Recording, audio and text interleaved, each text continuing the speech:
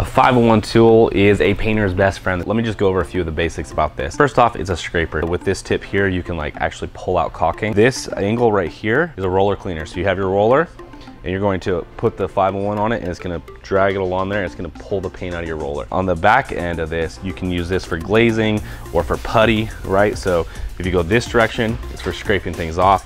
If you go this direction, it's for kind of like applying spackle or glazing or something like that. This one has this little hole here, which is actually to pull out nails. Then it's got this sort of flat hammer head right here. So if you're just trying to, if you got like something sticking out and you wanna just hammer it in, uh, you can do that with this edge right here. Some of them like this one, you can unscrew it. It's got like a little mini screwdriver and stuff. It's got actually stuff here for like tightening up a bolt. And this one has a can opener in case you're drinking on the job. Coke, Coca-Cola, not